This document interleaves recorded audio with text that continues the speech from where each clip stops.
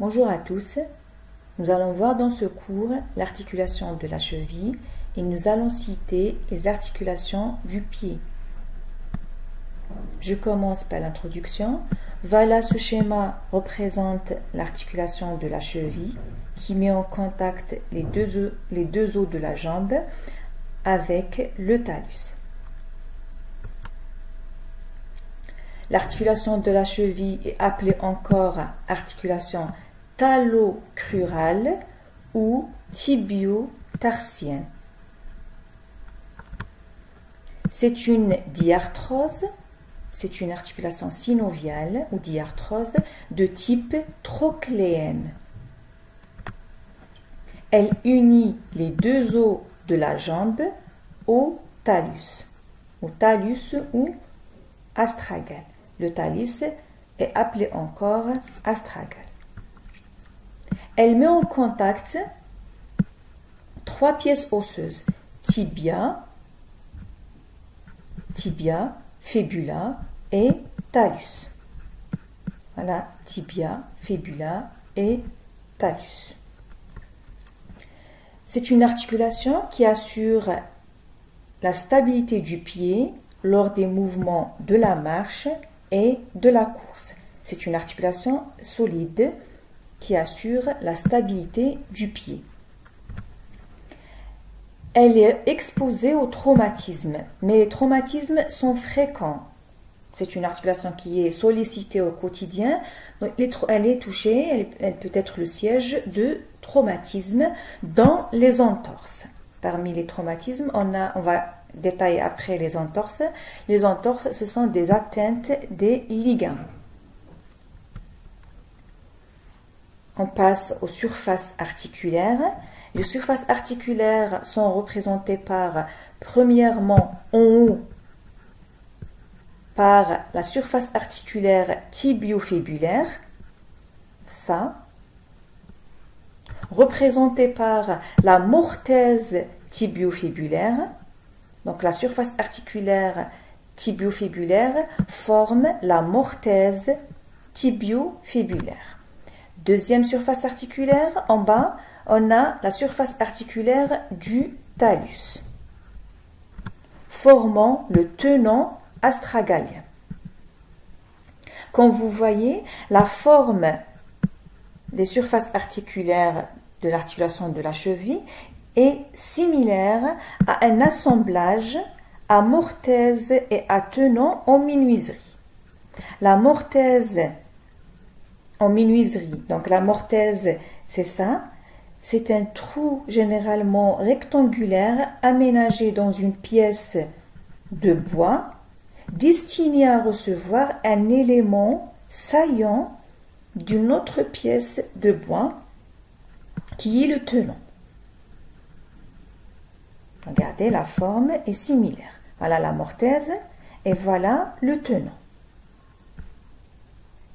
Le principal intérêt de cet assemblage à mortaise et à tenant, euh,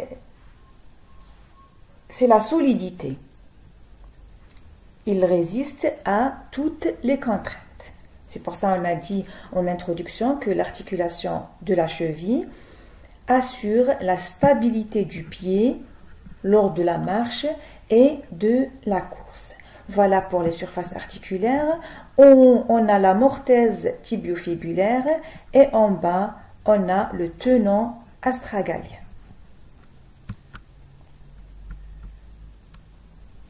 On commence par la surface articulaire tibiofibulaire, qui est la mortaise tibiofibulaire. Allongée transversalement, cette surface articulaire est allongée de droite à gauche, elle est allongée transversalement et répond au corps du talus. Cette surface, elle répond au corps du talus. Elle présente, quand vous voyez, trois surfaces articulaires, une, deux et trois. Une paroi latérale, une paroi supérieure et une paroi médiane. La paroi latérale, c'est la surface articulaire de la malléole fibulaire.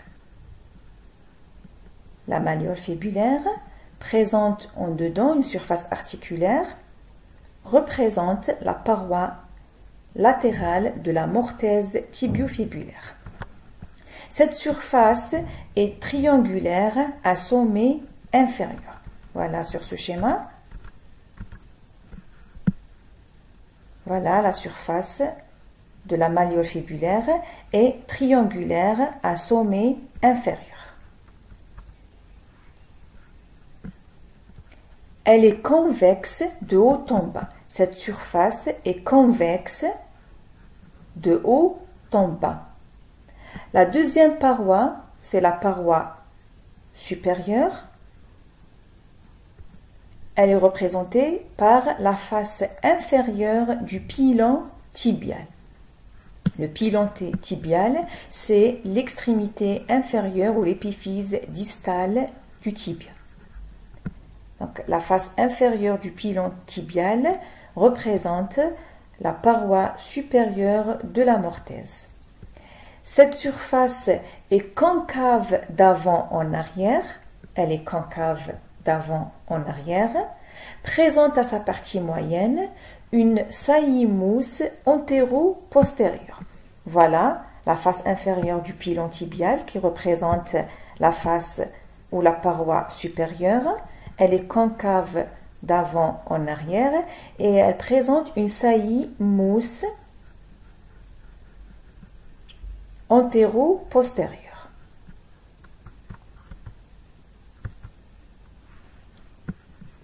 La troisième partie, ou la troisième paroi, c'est la paroi médiale. La paroi médiale, c'est la surface articulaire de la malléole tibiale. La surface articulaire de la malléole médiale ou de la malléole tibiale, c'est une surface qui est verticale. Voilà les trois surfaces, les trois parois de la mortaise tibiofibulaire. Une, c'est la surface articulaire de la malléole fibulaire.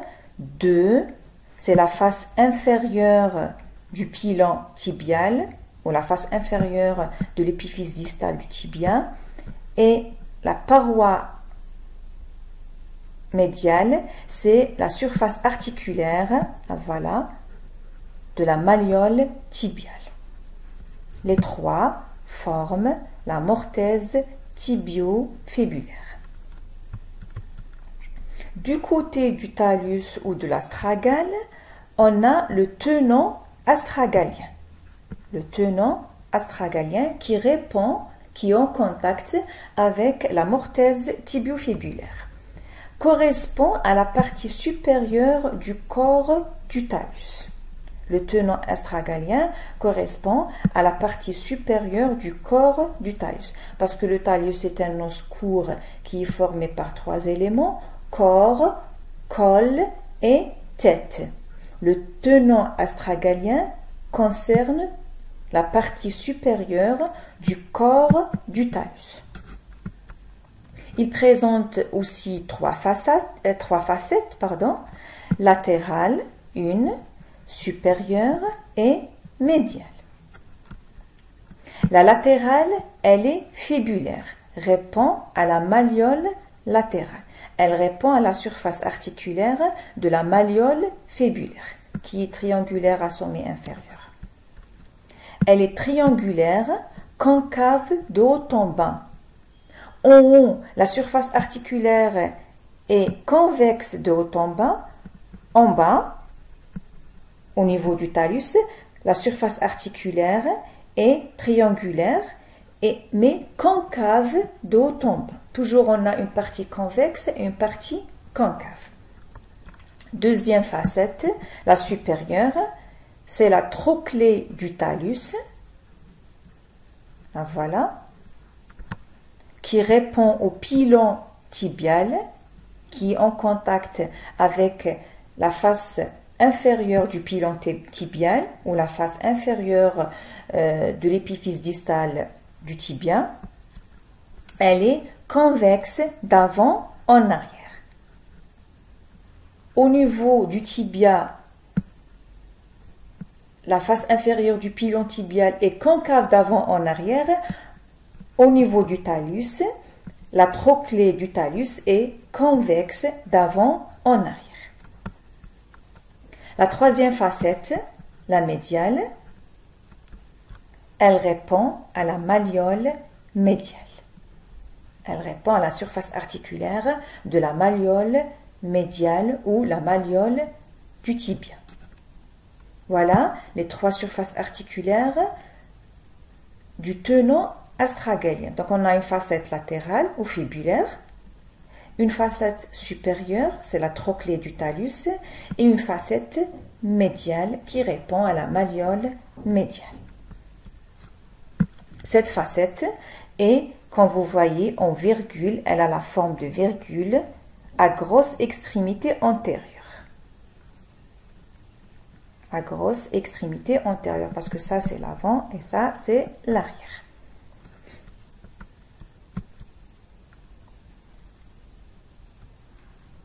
Voilà ici les surfaces articulaires du talus, le tenant astragalien, une vue latérale du talus, voilà son corps, son col et sa tête, la facette latérale, la voilà, qui répond à la malléole fibulaire, la trochlée du talus, celle-ci, qui répond à la face inférieure du pilon tibial, et la facette médiale en virgule à grosse extrémité antérieure, celle-là, qui répond à la malléole médiale.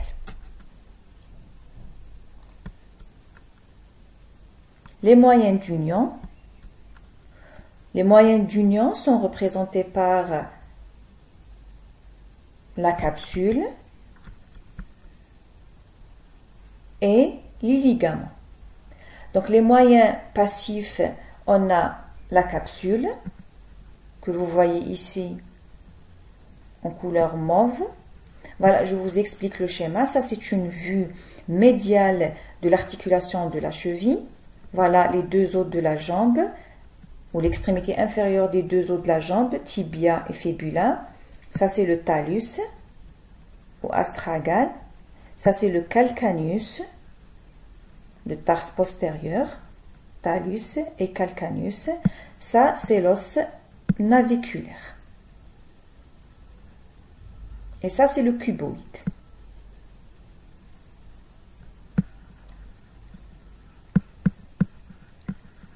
Ici, on a une vue postérieure de l'articulation de la cheville, tibia, fibula, talus, calcaneus. Donc, les moyens d'union sont représentés par la capsule, la membrane fibreuse de la capsule, qui s'attache au pourtour des surfaces articulaires. La capsule toujours, ou la membrane fibreuse de la capsule, elle s'attache où elle se fixe au pourtour des surfaces articulaires. C'est un manchon fibreux, mince en avant et en arrière et épaisse. Le manchon est mince en avant et en arrière et épais sur les côtés. Donc la capsule, elle est mince en avant et en arrière. Sur les côtés, elle est épaisse, elle est renforcée par les ligaments.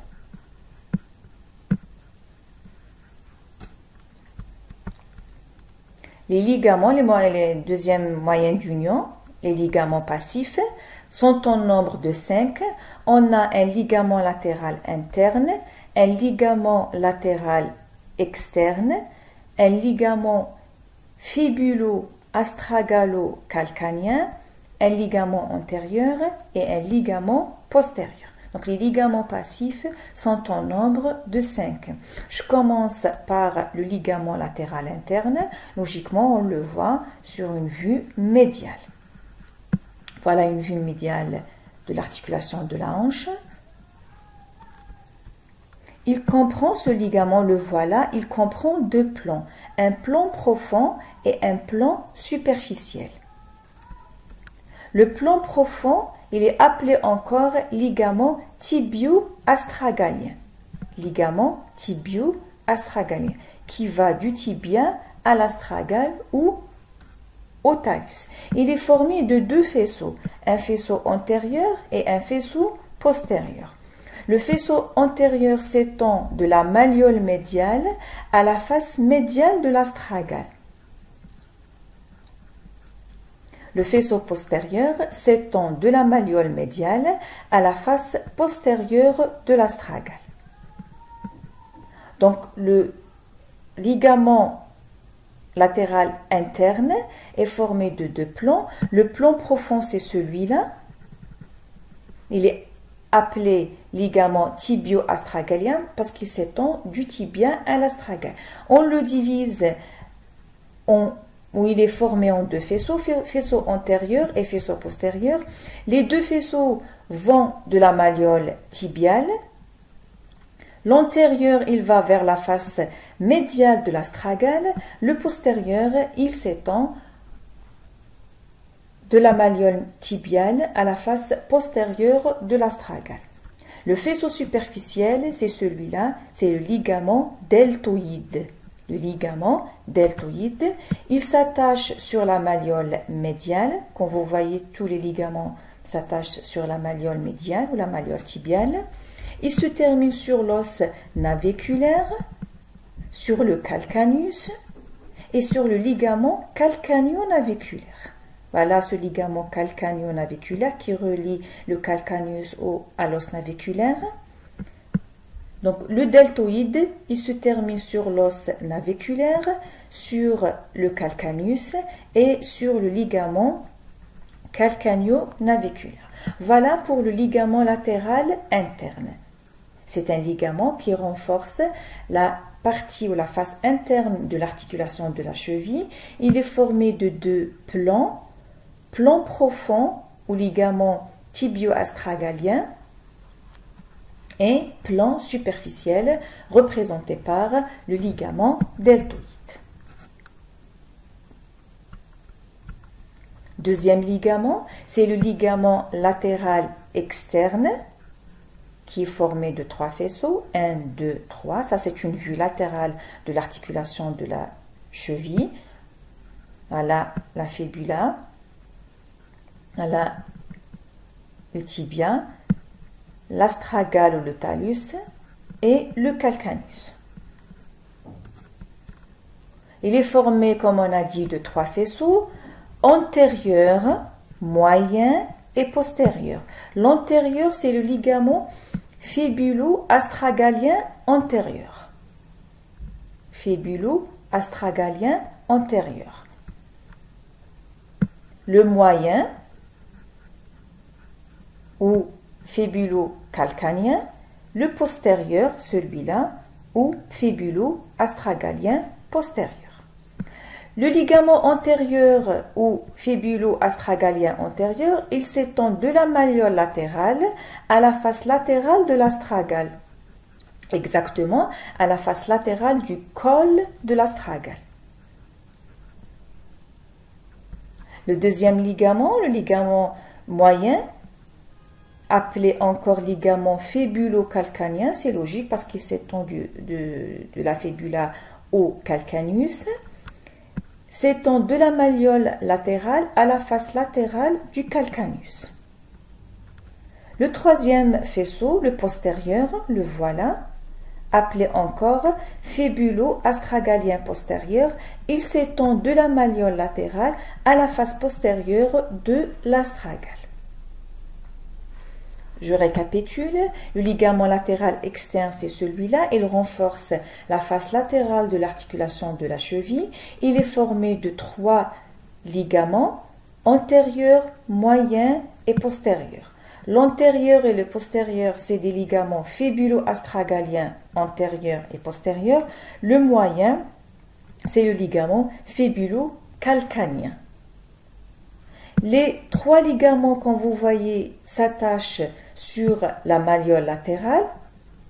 L'antérieur, il se fixe sur la face latérale de l'astragale. Le postérieur, il se fixe sur la face postérieure de l'astragale. Le moyen, il se fixe sur la face latérale du calcaneus.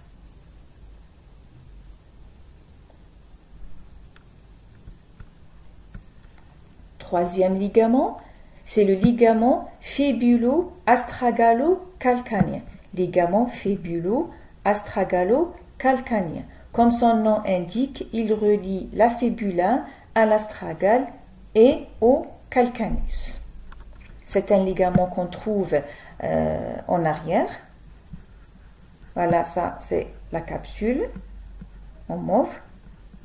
C'est un ligament et inconstant. C'est-à-dire on peut ne pas le trouver. Il s'attache sur la malléole latérale, la malléole fibulaire, et se termine sur le talus et le calcanus. Ça, c'est une vue postérieure de l'articulation de la cheville. Toujours les ligaments passifs. On termine par les ligaments antérieurs et postérieurs. Ligaments antérieurs et postérieurs. Ça, c'est une vue antérieure de l'articulation de la cheville et ça, c'est une vue postérieure. Tibia, fibula et astragal ou. Tibia, fibula et astragal ou et calcanus.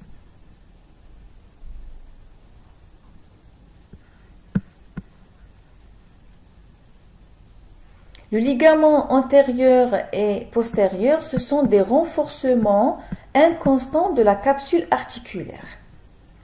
Ce sont des renforcements, voilà, inconstants de la capsule articulaire. On a, dit que la capsule articulaire est euh, mince en avant. Ici, on ne la voit pas, elle est réséquée, elle n'est pas en place. La capsule. On voit juste le ligament antérieur. C'est un renforcement de la capsule, mais qui est inconstant. Ici, le ligament postérieur, il renforce en arrière la capsule articulaire. Ça, c'est pour les moyens d'union passif. On passe aux moyens d'union actif. Généralement, les moyens d'union actif sont représentés par les tendons des muscles qui sont proches de l'articulation. Voilà, ici on a une vue postérieure de la jambe, des muscles de la jambe. Ça c'est le plan superficiel et ça c'est le plan profond. Ici on a une vue antérieure des muscles de la jambe.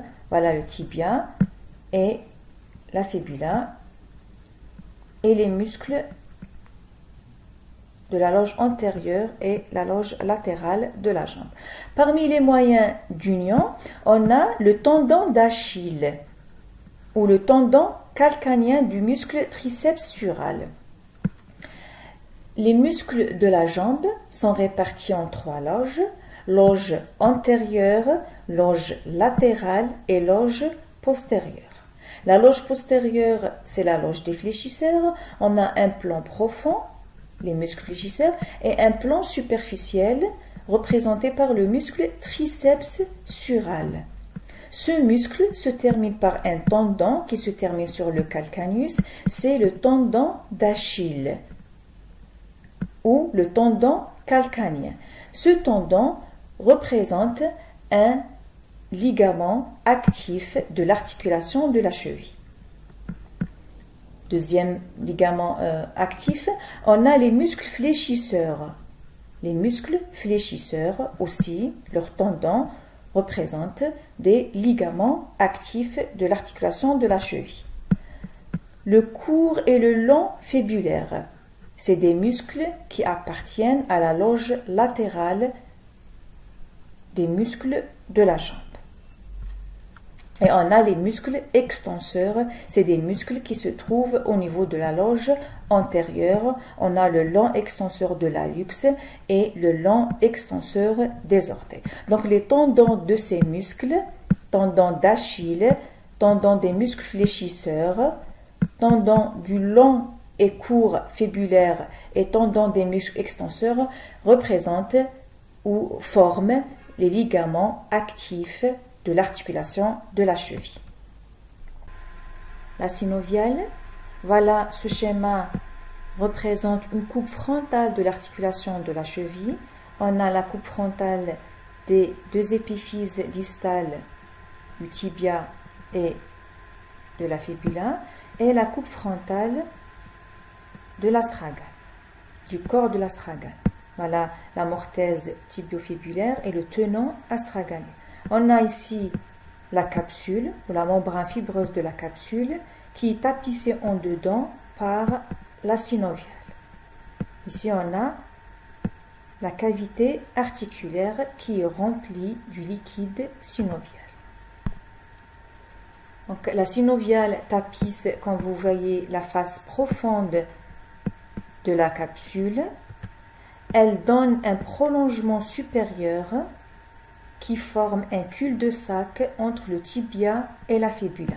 La membrane synoviale tapisse la face profonde de la membrane fibreuse de la capsule et elle donne en haut un repli, comme vous voyez, entre le tibia et la fibula. C'est un cul, c'est le cul-de-sac tibio-fibulaire. L'anatomie fonctionnelle ou les mouvements de l'articulation de la cheville. C'est une trochléenne, donc elle présente un seul degré de liberté. Elle permet les mouvements de flexion et extension. Bien sûr, les mouvements se font autour d'un axe transversal dans un plan sagittal. Les mouvements de flexion et extension se font dans un plan sagittal autour d'un axe transversal on a la flexion dorsale ou la flexion proprement dite, c'est la dorsiflexion, et on a la flexion plantaire, c'est l'extension. La flexion dorsale, c'est celle-ci. Elle rapproche la face dorsale du pied à la face antérieure de la jambe. C'est la flexion proprement dite. On définit toujours la flexion par la fermeture, le mouvement qui ferme l'angle ou qui ferme l'articulation. Donc ça, c'est la vraie flexion. Elle est appelée flexion ou flexion dorsale ou dorsiflexion. Elle ramène la face dorsale du pied à la face antérieure de la jambe. Le degré de cette de ce mouvement varie de 20 à 25 degrés. Donc l'amplitude est de 20 à 25 degrés. Deuxième mouvement, c'est l'extension qui est appelée encore flexion plantaire. La flexion plantaire, c'est l'extension. Regardez, ce mouvement ouvre l'articulation voilà l'articulation de la cheville, ce mouvement qui éloigne la face dorsale du pied de la face antérieure de la jambe est appelé flexion plantaire ou extension. L'amplitude est de 30 à 40 degrés. Donc pour récapituler, cette articulation assure la flexion et l'extension. La flexion est appelée encore flexion dorsale. L'extension est appelée encore flexion plantaire. Pathologie. L'articulation de la cheville est une articulation, comme on a dit, exposée au traumatisme. Les entorses bénignes ou euh, les entorses de l'articulation de la cheville sont fréquentes. Les entorses, ce sont euh, des affections qui touchent les ligaments. Il s'agit d'un étirement ou d'une déchirure d'un ou de plusieurs ligaments. On peut avoir des entorses bénignes ou des entorses graves. Dans les entorses bénignes, on a un étirement, une élongation ou une simple déchirure. Dans les entorses graves, on a une rupture totale d'un ou de plusieurs ligaments. Donc, les entorses, sont des lésions plus ou moins graves d'un ou plusieurs ligaments. Donc, c'est des affections, c'est des atteintes des ligaments. On peut avoir une, élongation, un étirement ou une déchirure. Pour l'articulation de la cheville, les entorses sont fréquentes. Il s'agit surtout des entorses bénignes et ça concerne surtout le faisceau antérieur du ligament latéral externe, le euh, ligament talofibulaire antérieur ou le ligament astragalo, euh, pardon, le ligament fibulo-astragalien antérieur. Celui-là. Vous vous rappelez du ligament latéral externe est formé de trois faisceaux, antérieur, moyen et postérieur. L'antérieur est appelé ligament fibulo-astragalien antérieur, comme on peut l'appeler aussi ligament talo par rapport au talus fibulaire antérieur. Donc, on a dit que euh, les entorses de la cheville sont fréquentes et bénignes. Ça concerne surtout un des faisceaux du ligament latéral externe, c'est surtout le faisceau antérieur. Après un simple faux pas, le pied euh, tourne, le pied part en dedans et en bas et il est responsable d'une atteinte du ligament externe, qui est l'entorse. On peut avoir aussi des fractures, des fractures des différentes pièces euh, de l'articulation, pièces osseuses de l'articulation de la cheville, comme on peut avoir une rupture du tendon d'Achille, la rupture du tendon du muscle triceps sural qui est un ligament actif de l'articulation de la cheville. Je passe aux articulations du pied. Voilà les os du pied. On a le calcaneus ou le calcaneum, le talus ou l'astragale, l'os naviculaire qui est appelé encore l'os scaphoïde, l'os cuboïde, les trois cunéiformes, le médial, l'intermédiaire et le latéral, les métatarsiens, premier, deuxième, troisième, quatrième et cinquième, et les phalanges proximales, moyennes et distales.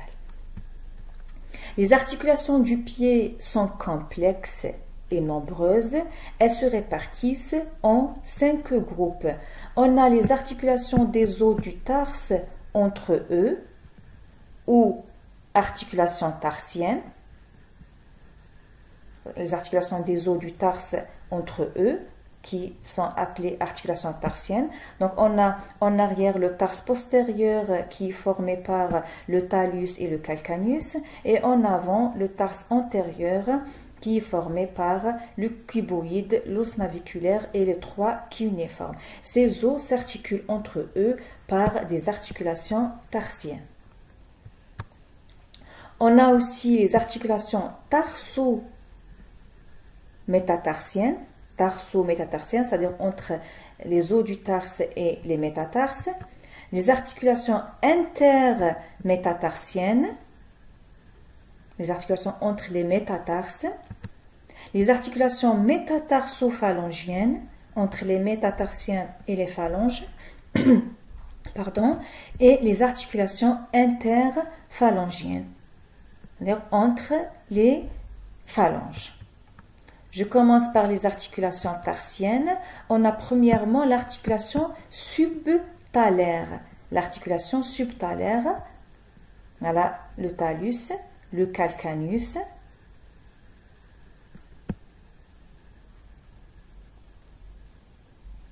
l'os naviculaire, le cunéiforme médial. Et ça, c'est le tibia. L'articulation subtalaire, c'est l'articulation astragalo-calcanienne postérieure. Elle est appelée encore articulation astragalo-calcanienne postérieure. C'est une articulation qui met en contact le talus et le calcanus.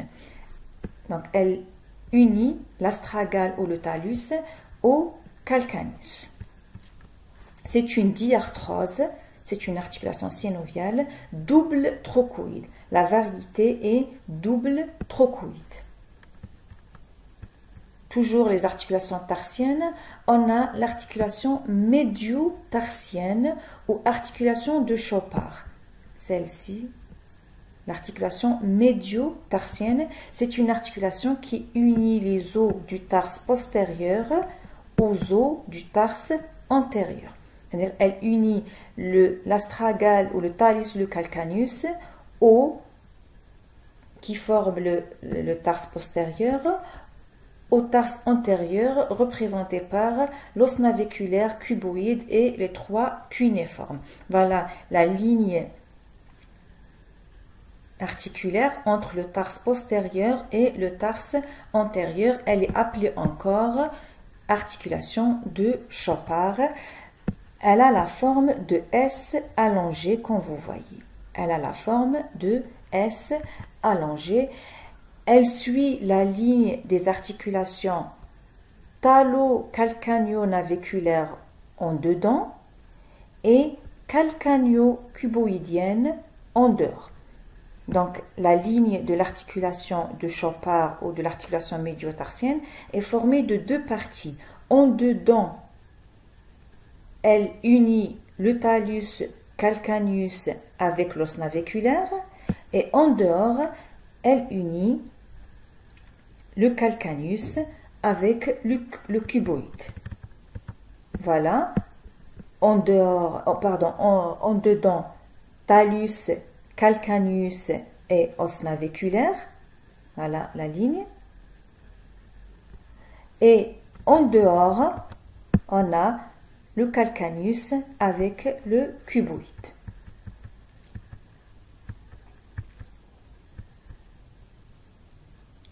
Toujours les articulations tarsiennes, on a vu la subtalaire, talus, euh, et calcaneus postérieur, articulation médio-tarsienne entre le tarse postérieur et le tarse antérieur, et les, articulations euh, scapho-cuboïdiennes, scapho-cuboïdiennes, scapho par rapport à l'os naviculaire, on a dit qu'il est appelé encore os scaphoïde, scaphocuboïdienne.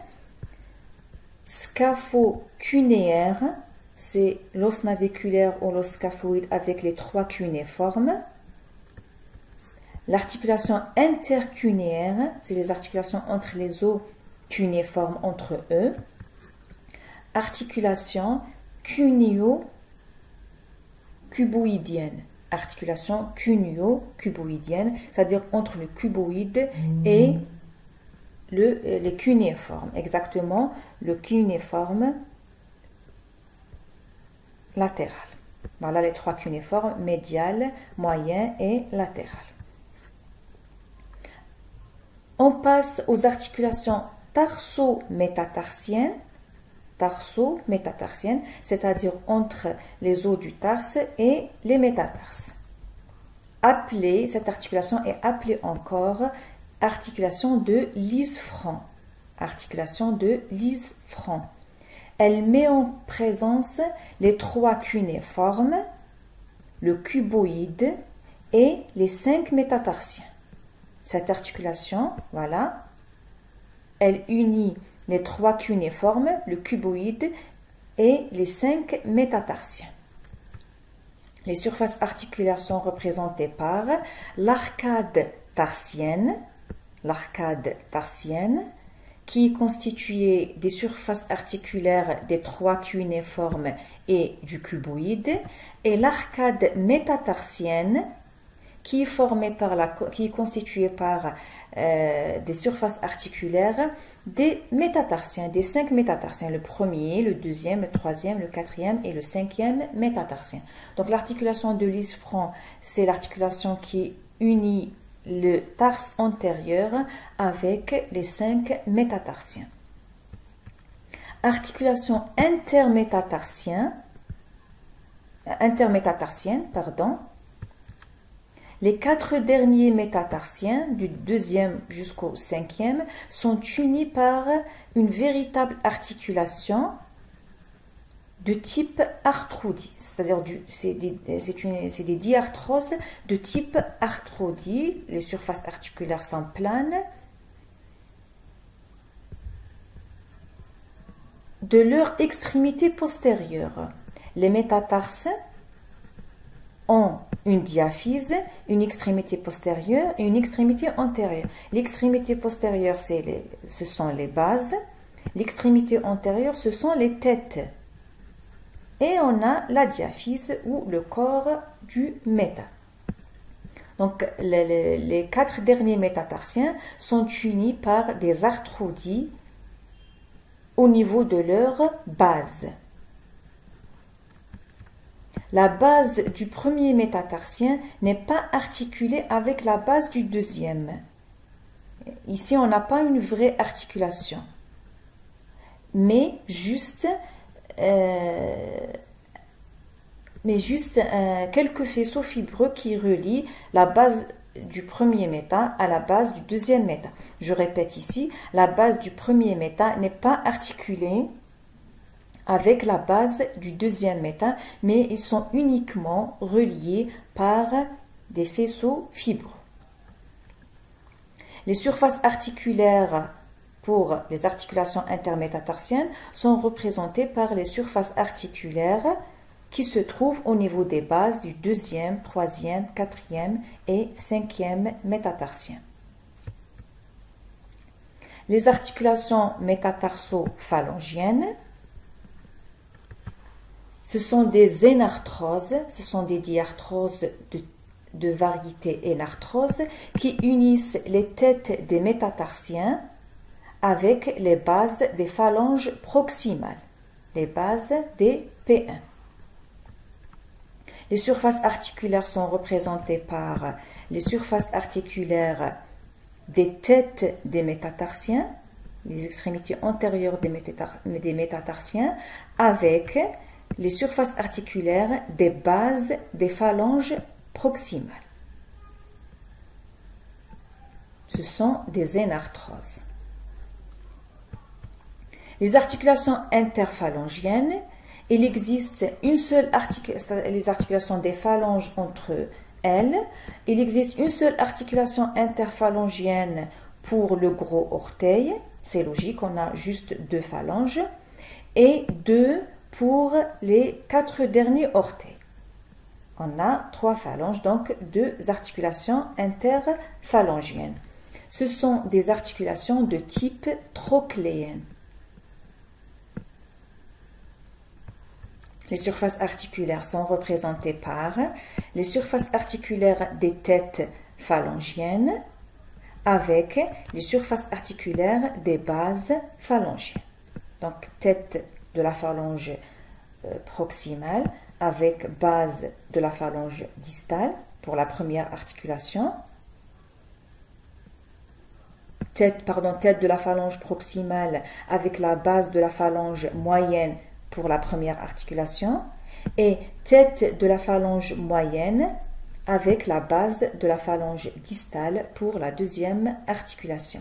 Donc pour le gros orteil, on a une seule articulation interphalangienne. Pour les quatre derniers orteils, on a deux articulations interphalangiennes. Ce sont des trochléennes. L'anatomie fonctionnelle, donc toutes ces articulations, les articulations du pied, permettent deux types de mouvements. On a le mouvement d'inversion, c'est celui-là. Il englobe l'extension du pied ou la flexion plantaire du pied, supination du pied. La supination se définit par euh, plante de pied qui regarde en dedans et une adduction. Donc l'inversion, elle englobe une extension plus une supination, c'est-à-dire plan du pied en dedans, et une adduction. Le deuxième mouvement, le mouvement contraire, l'éversion, on a une flexion ou flexion dorsale, dorsiflexion, avec pronation, la plante du pied regarde en dehors, avec une abduction. Voilà les deux types de mouvements assurée par les articulations du pied. Inversion et éversion. L'inversion, on a extension du pied avec supination et adduction. L'éversion du pied, on a une flexion du pied avec pronation et abduction. Voilà pour le cours qui concerne l'articulation de la cheville et les articulations du pied. Je vous remercie.